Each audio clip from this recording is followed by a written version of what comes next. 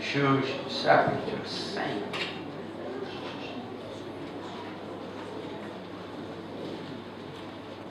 Et verset 7. Juge chapitre 5 et verset 7. Un, et ce message commence dans un temps terrible en Israël. Et il continue à dire que c'était difficile à voyager. Il avait trop de sur les routes. Au temps de Shamgar, fils d'Anat, verset 5, 6. Au temps de Jaël, les routes étaient abandonnées. Et ceux qui voyageaient prenaient des chemins détournés. Les chefs étaient sans force en Israël. Quand je me suis élevé, moi, Déborah, quand je me suis élevé comme une mère en Israël, il avait choisi de nouveaux dieux Israël. Alors la guerre était aux portes et on ne voyait ni bouclier ni lance chez les 40 milliers en Israël.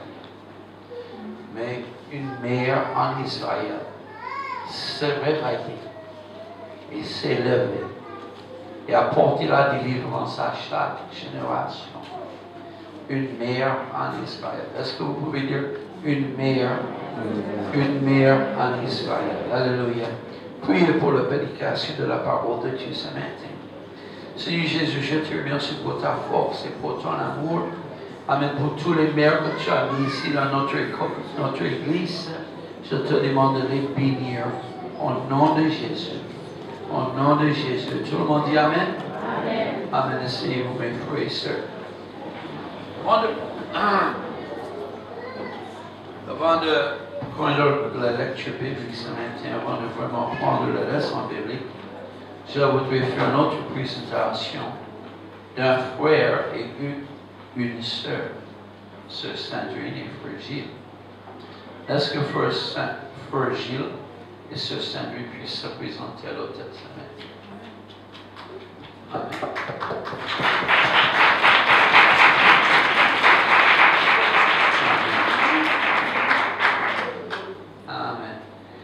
Dans la dans l'île de Saint-Vincent, j'ai rencontré un pasteur qui était vraiment âgé, selon moi, il est toujours en fonction.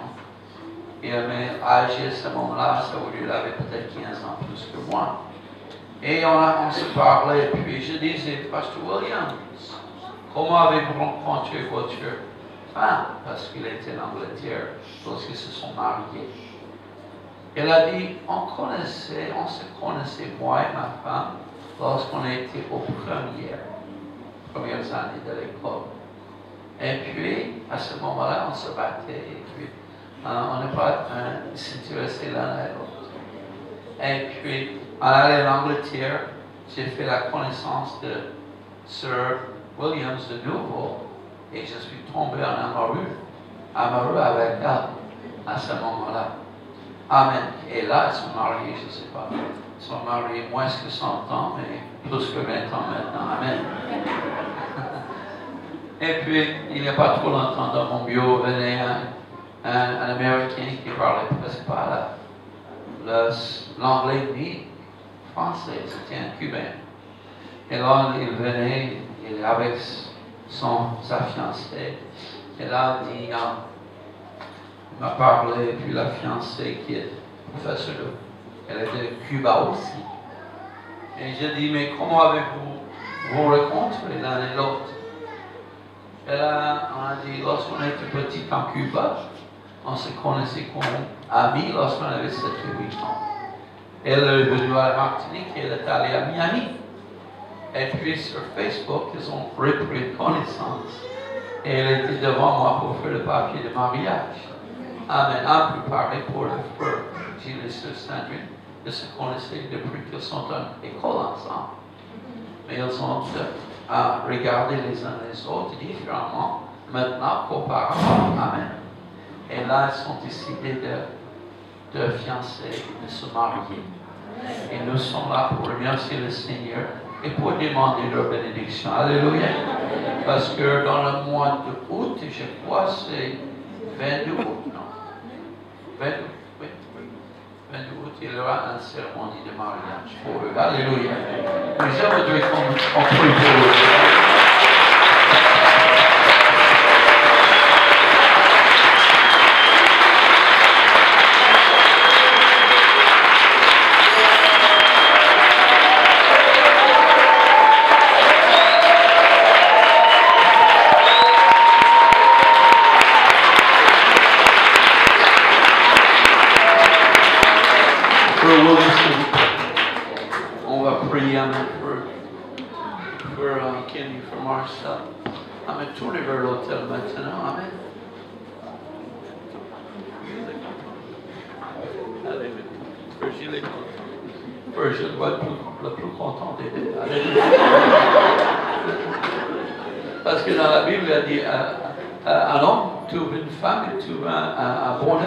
De Dieu. Amen.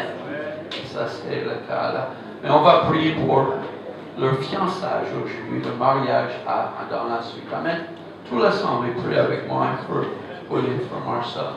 Je ne vois pas frère Kenny, mais tous les pères sont priés au nom de Jésus. Alléluia, Seigneur. Je te remercie pour ce Amen. Croit que qui nous mis ensemble. Je sais qu'on est depuis longtemps, Seigneur Jésus.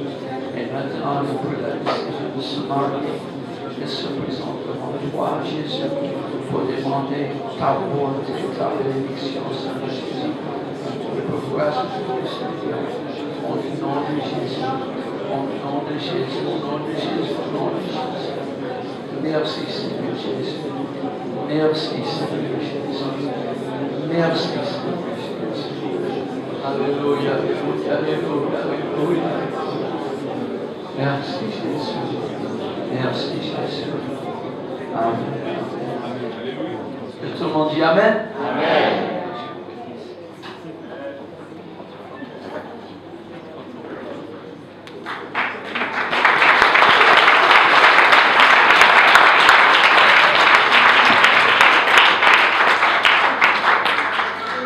Je crois que c'est une bonne chose de se marier avec quelqu'un que vous connaissez depuis longtemps.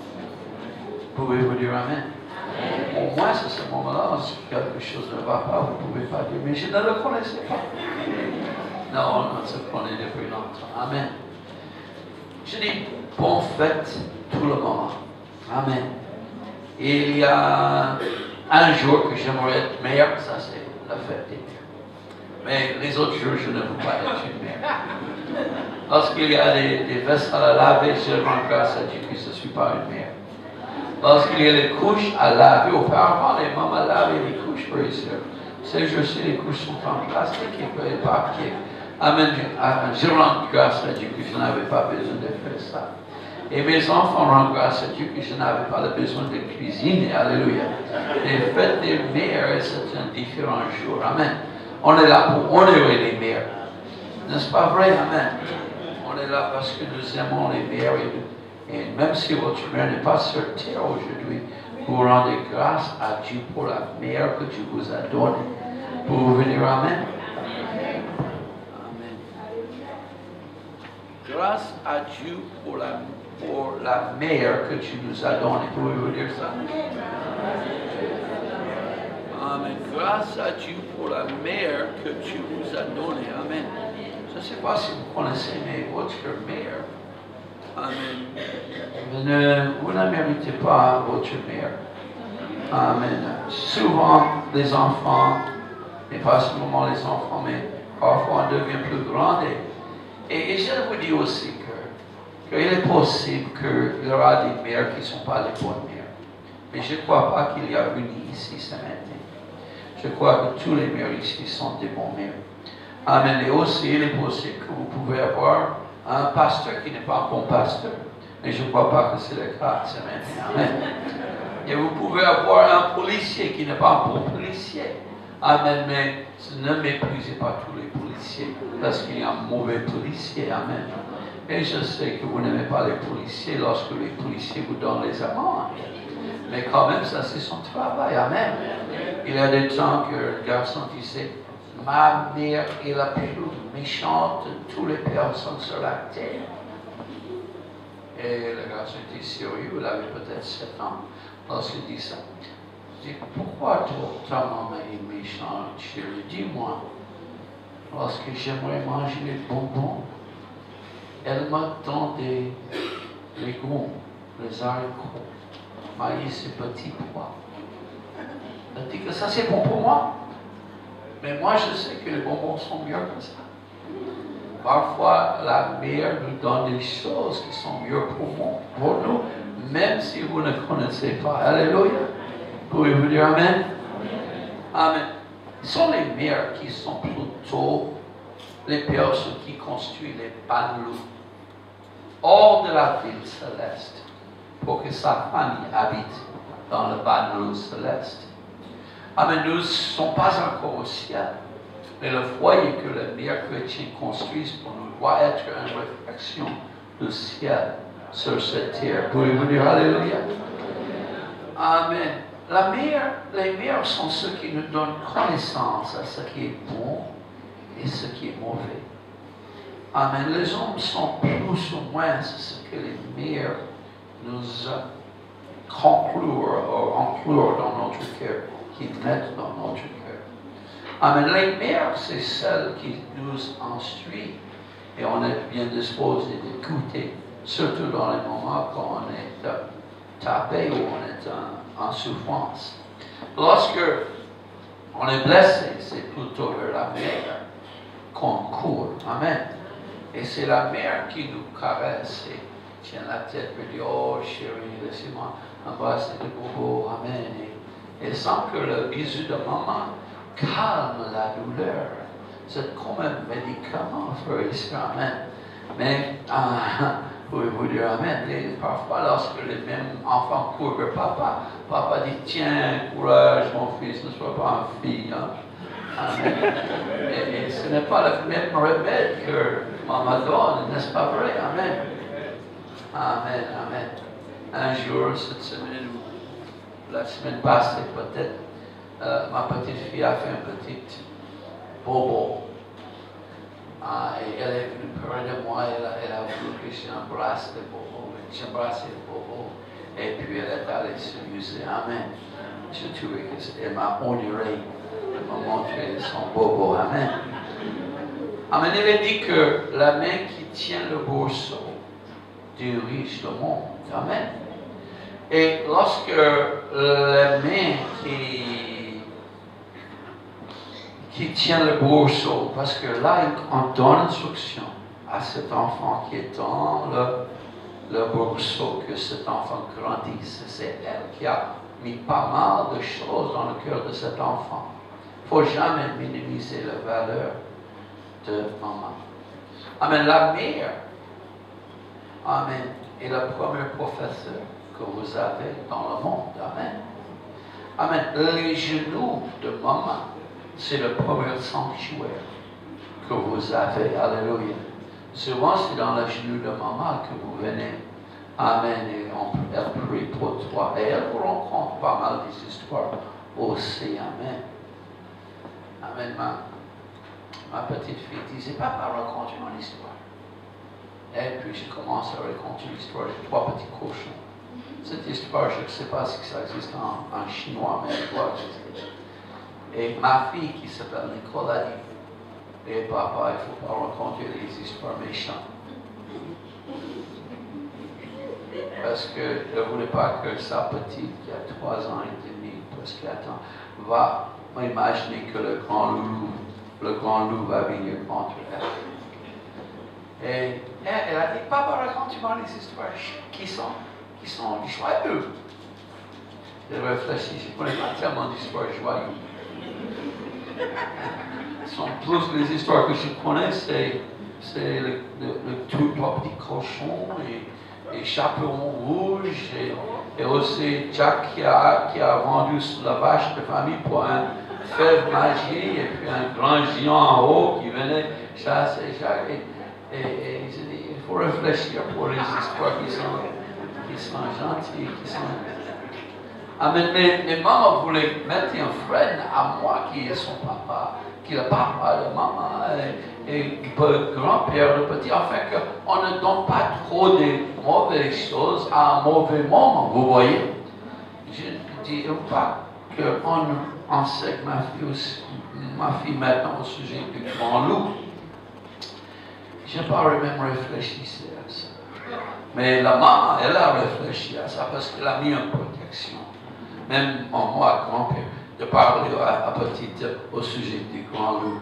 Alors pour moi, j'ai trouvé intéressant de parler au sujet des choses effrayantes. Hein. Mais c'est maman qui, qui avait besoin de protéger l'enfant lorsque l'enfant était amené en train de faire des mauvais rêves. Mais moi, je n'ai pas pensé à ça. Mais la maman, c'est le premier professeur des enfants. Pouvez-vous dire Alléluia? Amen. La maman, les genoux de maman, c'est la première salle de réunion, sanctuaire, pour l'instruction spirituelle au sujet des enfants aussi. Pouvez-vous dire Amen? Alors, lorsque vous avez une mère, vous êtes béni. Amen. Un jeune homme qui allait à l'université, et malheureusement, quelques-uns des professeurs dans l'université ne sont pas du tout sages le professeur, je ne sais pas si c'était philosophie qu'il enseignait, mais il enseignait les raisonnements pourquoi il n'y a pas un Dieu. Pour moi, ce n'est pas tellement bon d'enseigner cela, ce n'est pas nécessaire. Mais là, il, il enseignait les jeunes personnes de 20 ans, 19 ans, et puis, après avoir mettre toute cette évidence pourquoi il n'y a pas un Dieu, Amen il a demandé pour des élèves d'exprimer. Un garçon, celui de Boétie. Ah, mais je vois que vous avez beaucoup de raisons dans vos arguments et dans les, les, points que vous avez présentés. Pourquoi n'y pas un Dieu Mais lorsque j'entre dans, mon, dans, dans ma chambre et je vois la photo de maman sur mon bureau, et je me souviens de sa vie sanctifiée et la manière qu'elle a prié pour moi. Tous vos raisonnements disparaissent dans l'image que je vois de ma mère. Alléluia. Pouvez-vous dire Alléluia? Amen. Parce qu'une mère est une source de soutien pour la foi dans l'enfant lorsqu'il est grand aussi. Alléluia. L'enseignement qu'elle donne à son enfant est un enseignement qui est une chose qui dure plus longtemps, même que sa mère dure. Amen. Pouvez-vous dire Amen? Alors, les enfants, ce matin, vous êtes bénis d'avoir une mère. Alléluia. Vous devez respecter, honorer, aimer votre mère. Amen. Quel est le premier commandement? Avec une promesse? Honore ton père et ta mère, et enfin que tes jours se prolonge sur la terre. Alors, si vous honorez votre maman et votre père, vos, jours seront prolongés. Amen. Longue vie, alléluia. Amen. Combien de personnes aiment mourir rapidement? Je préfère vivre plus longtemps, alléluia. Amen. Amen. Je ne connaissais pas ce commandement parce que je n'allais pas dans les dans l'église. Maman n'allait pas à l'église, mais un jour j'avais cet âge que les enfants montent lorsqu'ils deviennent encore plus imbéciles. Stupide, sans intelligence. Le corps, il est vrai que le corps développe vite, mais le cerveau développe lentement. Et parfois je me demande si ça développe. le corps est en train de développer, mais le cerveau est en train de ralentir. Et, là, surtout lorsqu'on est adolescent, ah, j'avais mes amis, vous voyez, mes copains, je me sentais grand, vous voyez, ah, peut-être 11 ans, je me sentais grand. Et je voulais suivre des mauvais copains. Ah, lorsque j'avais 6 ans, j'ai volé le premier paquet de cigarettes de maman. Et puis, maman et papa se disputaient tellement que papa aller dans la bar pour s'enivrer. Et moi, le coupable, j'ai pris le paquet de cigarettes et je suis allé vers mes copains, on a fumé les cigarettes. Je suis tellement malade. Malade. Je suis retourné à la maison malade. Et c'était un samedi soir. Maman dit, venez voir les westerns, les films sur la télé. Je dis, maman, je suis malade. Elle a dit, malade? Oui, je suis malade. Maman, pour deviner les choses que les autres ne devinent pas. Les mamans sont les voyantes. Amen. Pas les voyantes de mauvais sens, mais les mamans comprennent. Il est difficile de cacher de maman certaines choses. Vous devez respecter votre maman, enfant. Alléluia. Alors, et maman. Pourquoi tu es malade? À ce moment-là, ça ne comptait pas, même si on m'a tapé ou non. J'étais tellement malade. Maman, j'ai volé le paquet de cigarettes. Moi, mes copains ont fumé tes cigarettes. Et elle a dit, ah, mais vous souffrez maintenant pour, avec cette mal. Oui, maman.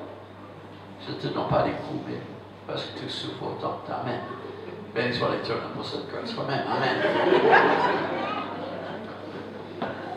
Un jour, je suivais des copains, j'avais peut-être 11 à 12 ans. On aimait se bagarrer, avoir des combats, parce qu'il semblait que si vous avez des combats, vous gagnez, vous êtes fort, et, vous êtes quelque chose qui a de style, de classe, et hein, comment dit, c'est je suis bad boy, amen. Et, là, euh, maman, m'a regardé, elle a dit, mon fils, pourquoi tu fais ces choses? Je dis, maman, tu serais fier de moi, parce que je suis le combat. Et, et, et j'ai dit, maman, tu serais fier. Et je, je suis compté frère. Les frères étaient, étaient des, sauvages parfois, les frères de maman. Amen. Et, ils ont passé le temps dans la prison, les frères de maman. Et, et, et je dis, tu serais Elle a dit, mais mon fils, n'avez-vous pas compris le commandement qui dit, honore ton père et ta mère. Est-ce que tu crois que ma mère est contente que ses fils sont en prison, un de ses fils est en prison? Ce n'est pas honneur que mon frère a porté à ma mère lorsqu'elle est en prison. C'est une honte. Donc, comprenez-vous pas cela? Et malgré que mon corps commençait à développer, le cerveau était petit toujours, ça entrait dans mon esprit pour dire, ah, mais ça, c'est ce que ça dit. Honneur ton père et ta mère. Vive de manière qui porte un honneur à ton père et ta mère. Est-ce que je dois répéter cela? Vive de manière qui porte honneur à ton père et ta mère. Alléluia. Amen, amen. Vive à cette manière-là. Alléluia. Pour dire Alléluia? Amen. Amen. La mère est la première personne pour nous embrasser. Amen. Et longtemps après qu'elle n'est plus là pour nous embrasser, on a souhaité de retrouver à genoux de maman avec ses bras autour de nous. Amen. Elle est un refuge pour nous. Elle était. Dieu est un refuge pour nous. Mais en réalité, les enfants, votre mère est un refuge pour vous. La mère est une personne qui, dans la sagesse, pas comme leçon, mais dans la sagesse lorsque nous sommes en souffrance, lorsque nous sommes dans cet endroit de châtiment, on est châtié, elle pour nous donner un refuge. Elle voit le bon qui est en nous, même si tous les autres personnes de terre voient le mal. Il y a une insulte qu'on donne en anglais, je ne sais pas si cette insulte existe en français? Mais lorsque vous voulez dire que quelqu'un est super laid ou laide, vous dites, cette personne a un visage qui est si laid que même sa mère ne peut pas aimer cette personne. Ça, je ne sais pas si vous dites cette insulte-là ici, mais je vous ai appris ce matin comment insulter quelqu'un. Mais ce n'est pas pour ça que je dis ça. Qu'une mère, pour voir la beauté, même dans le plus laid des enfants, n'est-ce pas vrai? Les autres voient que c'est un enfant laid, mais la mère voit les bonnes choses qui est en son enfant. Amen. Amen. La mère est une personne qui nous défend lorsque nous sommes petits. Amen. Elle prend notre défense. Alléluia. Oh, et parfois, lorsque nous sommes grands, nous avons espéré trouver quelqu'un qui peut nous défendre aussi. Amen. Et maman, Amen, si elle est capable, elle est toujours bien disposée. Ou si votre mère n'est pas là, Béni soit l'éternel que Dieu vous a donné. Amen. Amen. Un, une garçon, une fille, Amen, qui est calme de nature, qui n'excite pas de nature, Amen, qui n'est pas une tête qui devient chaud rapidement. Amen. Change si vous insultez sa mère. Vous n'avez pas le droit d'insulter la mère euh, devant même cet enfant calme. Et si vous êtes marié, attention, frère, de ne pas dire à votre femme, vous êtes juste comme votre mère. Parce que vous avez insulté la femme et la maman en même temps. Vous êtes, euh, votre cerveau n'est peut-être pas développé, frère. Amen. Mais, mais les mères sont les guérisseurs de nos bobos. Les mères travaillent. Parfois on a dit, mais c'est une mère au foyer, disons ne travaillent pas. Parfois, les mères travaillent plus au foyer que certaines autres travaillent dans leur entreprise. Amen. Parfois, les, garçons sont au chantier, ils font les blagues matin, midi, soir, puis ils reviennent à la maison et disent Qu'est-ce que vous avez fait aujourd'hui, Et c'est une histoire qu'on rencontre, je crois que ça existe en français aussi un fermier allemand allait faire tout son travail et puis transpirer, il revient à la maison, dit à sa femme, qu'est-ce que c'est que vous avez fait toute la journée? Vous avez reposé toute la journée, vous avez mis vos pieds en l'air. Si vous voulez savoir qu'est-ce que c'est le travail, changez place avec moi. La maman souriait dit, ok, demain on va changer de place.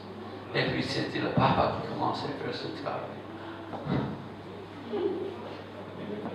à midi n'est pas encore arrivé. Amen. Et le papa disait, oh, je ne vais pas faire cette erreur encore. Amen. Amen. Et puis, maman est allée en ville pour, pour se promener, pour avoir un peu de repos avec ses, ses copines. Et puis, papa l'a en train de nettoyer, changer les couches des enfants, nettoyer les, papas ne, sont pas forts dans ce métier-là. Amen. Ils ne changent pas tellement bien les couches, mais, les, ils savent que les mamans peuvent changer les couches faciles. Je vous dis que j'ai changé un couche de mes enfants. Par la foi. Amen. Mais les, vous connaissez ce qui est à l'intérieur de couche? Il semble que ça ça fait le plus fort des sons tombés. le plus fort des sons. Pense toi deux. C'est comme le poison, gaz, poison. Et les bières, il faut ça. Graisse, vaseline, avec poudre. Et là, les bières nettoient. Mais ça, peut-être qu'il y a certaines personnes qui ah, mais c'est pas moi, pasteur. Ah oui, oui, c'est ça. Amen. Et ça que les mamans peuvent faire les magies. Il est vrai. Et vous, vous, venez là, vous voyez un banane vert. Je ne sais pas si vous êtes au mais si vous maudissez et si vous mettez un banane vert dans votre bouche comme ça, votre visage vous passe sourire. Mais dans les moments, un banane vert quelque chose en plus, euh, elle va faire de magie. Et pour changer de banane vert à un repas. Jésus changeait l'eau en vin, mais les bières changeaient les, les papayes verts en salade, en légumes. Amen. Oh oui, il fait en magie, mes frères et sœurs les hommes disent Ah, mais moi je suis un homme, je sais cuisiner, oui. Amen. Qui est-ce qui cuisine à la maison? Amen. Amen, amen, amen. Un jour, je suis arrivé, maman était en voyage, j'étais avec mes filles, euh, ma fille et mon garçon, j'ai dit, je vais cuisiner aujourd'hui. Après avoir passé toutes mes efforts à faire un excellent repas. Amen. As-tu dit, papa, je ne peux pas le manger. Je dis, mangez. À quoi il fait Est-ce que tu as de l'eau, papa? Tu as déjà bu beaucoup d'eau. Mais bien à cuisiner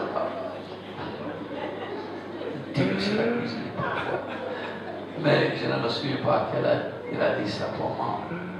Amen. Parfois, le cerveau n'est pas encore développé. Alléluia. Amen. Les familles ont besoin des mères. La civilisation a, besoin des mères. Amen. L'Église a besoin des mères. Amen. Israël avait besoin d'une mère. Alléluia. Frères et nous, nous vivons dans les derniers jours, jusqu'avant que Jésus revienne pour juger cette terre. Et j'avoue dire que Jésus est fâché contre la terre. Hein. Il est fâché. Mais imaginez, il y a dix ans, vous ne pouvez pas même entrer dans votre cerveau qu'il y aura un mariage entre homme et homme. À quoi sert ça? Amen. Et là, il y a, il y a ce qu'on appelle les féministes.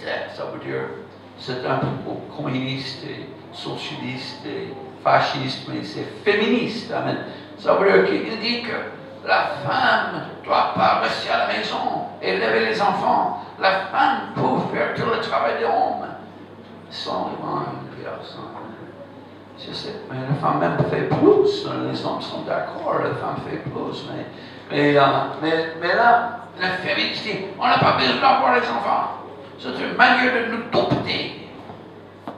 Et, euh, pourquoi? Parce que nous sommes dans les derniers jours. Le diable fait tout ce qu'il peut pour détruire les choses traditionnelles comme mariage et comme le travail d'une femme. Le travail d'une mère ne peut pas être remplacé par personne. Si vous êtes là, vous avez une grand-mère, bénie soit l'éternel, peut-être elle vous a fait le travail d'une mère, je ne sais pas. Ou peut-être vous êtes un orphelin, vous avez au moins un tante qui faisait un travail de mère. Et parfois, vous trouvez que certains hommes peuvent faire un travail comme une mère, c'est nécessaire. Amen. Comme le pasteur Lec a fait pour ses deux fils. Vous voyez? Amen. Pasteur Lec a été élu mère de l'année à Saint-Lucie une année. Amen. Quel honneur. Amen. Je crois qu'il est le seul homme qui a été euh, la mère de l'année. Amen. Mais parce que sa femme était morte, il faisait le maximum qu'il pouvait pour élever ses enfants. Amen.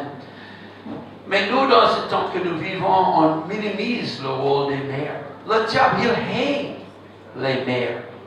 Parce que le diable sait que pour détruire les mères, Amen, il sera gagnant d'une grande victoire dans la famille.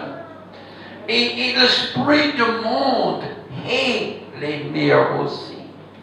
Lorsqu'une mère est, là, elle ne doit pas être une jeune fille très sexy. C'est la famille, frère et Amen. Et là, mais le monde dit, ah, mais maman, tu peux te libérer. Non, non, non. Le monde hait les mères. Le diable hait les mères. Amen. Amen. Et Dieu aime les mères. Dieu a donné comme cadeau à la civilisation le rôle d'une mère. Alléluia. Le travail d'une mère. Alléluia. Éduquer. Amen. Protéger pouvoir manger, sous-loger, être un refuge pour sa, pour sa famille. Alléluia. Amen. Et nous avons vu dans notre jour l'idée que le mariage est presque détruit. Pas simplement le mariage, les divorces, etc. Mais détruire la définition du mariage.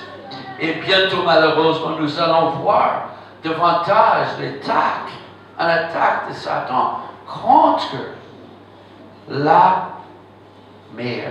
On a dit, mais nous avons les crèches, nous avons l'État qui peut s'occuper des enfants. Attention, personne pour remplacer mère. Alléluia. Amen. Personne pour remplacer mère. Lorsque nous avons lu ici ce matin, Amen, un jour, chapitre 5, Amen. Nous avons vu que tout Israël en tourmente, tout Israël en confusion. Même, même les, juges n'avaient pas de puissance. Même, même il était difficile à voyager, tellement de voleurs. Et qu'est-ce que se passait?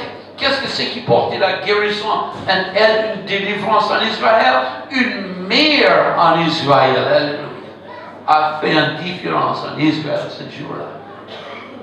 Amen. Alors il y a un appel et une nécessité pour des meilleurs d'une nation de faire une différence à une nation. Une meilleure qui a délivré une nation d'Israël. Amen. Alors oui, Dieu a dit à, a dit aux, juges, Amen. Et même son nom m'échappe, mais je n'ai pas oublié le nom de Mère Israël, Deborah. Il a dit, Amen, Barak, je crois, Amen. disait, allez, Amen, attaquez. Et il a dit, je ne peux pas attaquer, sauf que je demande Deborah. Une personne. Et là, Deborah, il a levé Deborah, une mère en Israël. Et Deborah dit, j'irai avec toi dans le combat. Il a dit, si tu vas avec nous, je vais dans le combat. Amen, parce que je sais que la bénédiction de Dieu est avec vous. Elle n'était pas militaire, elle n'était pas générale, mais le fait qu'une mère en Israël, une dame sanctifiée, est allée avec eux, Dieu les a donné la victoire. Alléluia. Oh, béni soit l'Éternel pour les mères de notre Église. Béni soit l'Éternel pour toute mère qui met une freine la méchanceté. Amen. Aux États-Unis, il y avait certaines mères qu'on a créé une association qui dit mère, et dit, je vais dire ça en anglais d'abord, Mothers Against Drunk Drivers. Les mères contre les conducteurs qui sont sous. Parce que certaines mères ont perdu leurs enfants aux conducteurs, chauffeurs de voiture qui étaient en état d'ivresse. Et là, ils, ont, se sont groupés ensemble, une mère, deux mères, et puis fait un, même formé des chapitres de cette association dans tous les États. Et leur, leur, leur titre est MAD. MAD, veut dire fâché. Mothers Against Drunk Drivers. Les mères contre les personnes qui conduisent. Alors, ils ont pu développer et promouvoir pas mal de lois aux États-Unis pour tester l'état d'ivresse et, et, puis faire des amendes et, faire que le crime de, de conduire une voiture dans un état d'ivresse soit vraiment châtié. C'était les meilleurs contre les chauffeurs qui conduisent en ivresse. Amen, frères et sœurs, ça fait une différence aux États-Unis.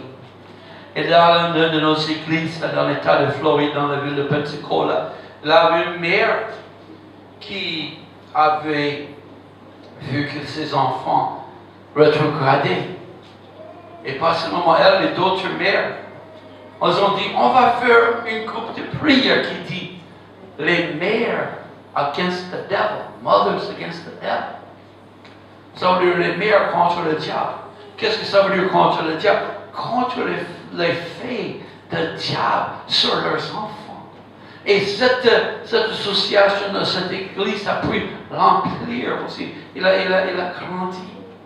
Et les mères contre les effets de diable dans leur famille, dans leur foyer, avec leurs enfants surtout, ont fait un grand effet dans pas mal des églises. Mothers against the devil. C'est pas tellement qu'elle était contre le diable, mais contre le fait que le diable tentait leurs enfants, détruisait leurs enfants. Amen.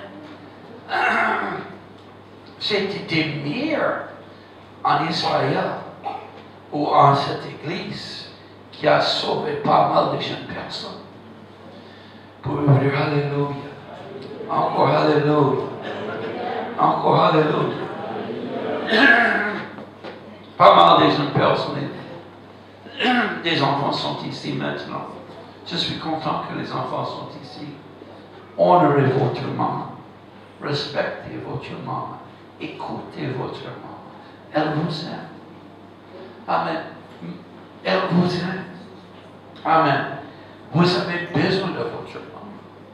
Certains temps, dans votre âge, malheureusement les enfants, vous allez grandir d'avoir peut-être 13 ans et vous allez dire, une voix va vous parler, dit, ah, mais votre maman est démodée. Elle ne porte pas la même robe que vous, mes gars. Ah, votre maman est de différents temps. Et là, cette voix va commencer minimiser la valeur de votre maman. C'est le diable qui vous parle. C'est le diable qui vous détruit.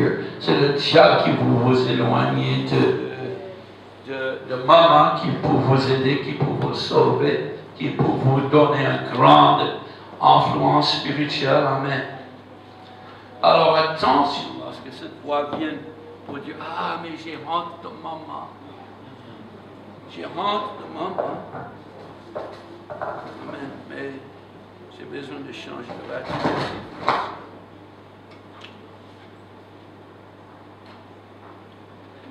Recharger la batterie. Amen. Que je puisse me recharger aussi vite. Amen. Amen. Mais, mais là, une voix vient. Ah, mais votre maman, elle n'est pas sage, elle n'a pas la même éducation. Je me souviens lorsque j'avais peut-être 11 ans à l'école, on nous a dit, un professeur nous a dit, votre éducation elle sera supérieure à l'éducation de votre papa et votre maman. Ça, ça n'a pas été facile à avaler. Vous voyez, accepter. Connaissez un chat, est un animal que tu as mis sur la terre. Si vous caressez le chat comme ça, il sera, il va accepter. Mais si vous mettez le main et vous caresser le chat contre le crème de sa, sa chevelure, poil, Amen, le chat ne va pas accepter ça. Et lorsque j'ai entendu ce professeur qui a dit que votre éducation sera supérieure à l'éducation de votre maman et votre pourquoi vous allez connaître tous, c'était comme le chat qu'on a caressé contre le sens de poil. C'est-à-dire que ça n'a pas été facile à accepter. Amen. Parce que même si je pouvais plus de livres, écrire mieux que maman, ou savoir utiliser l'ordinateur, l'éducation que Dieu a donnée à ma mère et mon père était supérieure à toute l'éducation que je pouvais recevoir dans toutes les universités du monde. Alléluia. Parce que c'est une sagesse personnelle pour moi. C'est une sagesse pour mon bien-être. Alléluia. C'est une sagesse pour ma vie spirituelle et naturelle. Alléluia. Alors, honorez votre maman. Honorez votre papa. Amen. Il y a peut-être deux, trois mois que j'ai mis quelque chose sur le Facebook au sujet d'un athlète aux États-Unis. Elle était un athlète et puis il avait une mère, connaissait, il avait une mère. Et lorsqu'il était au lycée, il jouait le football américain et puis, et puis sa maman était là pour le match, malgré que sa maman travaillait. Et sa maman, sa maman criait Allez Marc, allez Marc, allez Marc. Et puis lorsque les garçons étaient ensemble pour faire un plan pour le prochain, voir qu'ils ont un, le ballon, les gens disaient Hé Marc, ça c'est ta maman qui est là, qui crie comme ça. Il dit Où Je ne connais pas cette dame. Hein? Elle avait honte de sa maman. Il n'avait pas honte de ses copains, mais il avait honte de sa maman. Non, je ne connais pas cette personne. Puis il allait, il allait avec des autres garçons, qui, des amis, des copains qui n'étaient pas bons pour lui, l'amener dans la drogue, l'amener dans l'alcool. Et puis, il est resté longtemps hors de la maison. Et puis, maman arrive à la maison. Euh, il arrive à la maison après une heure du matin lorsqu'il était peut-être 17, 16, 17, 18 ans, je ne sais pas. Mais il arrivait et, maman debout, restez debout. Lumière toujours là. Amen. Disait Marc, ça va?